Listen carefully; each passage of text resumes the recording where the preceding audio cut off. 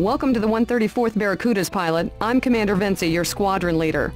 The 134th is a Combat Evaluation Unit, or CEU, which means we're among the first to test new ships and weapons in the field.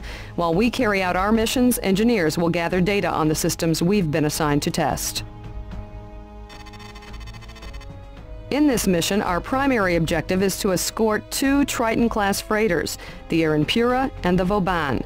They will enter the nebula at the Gamma Draconis node and travel to their waypoint, where they will rendezvous with the GTCV Warspite. Their cargo is the new Target Acquisition and Guidance Missile System. The GTA Lucidity will provide AWACS support for this mission. With its powerful sensor array, the Lucidity will transmit targeting data to your fighter, effectively increasing your sensor range. The 134th will be the first to test the system in the nebula. Now keep in mind that the C in CEU stands for combat. These aren't controlled laboratory experiments. Shivan activity has intensified, so you can expect to engage some Maras and Cains out there. If the action gets too intense, call in reinforcements at your discretion. Good luck, pilot.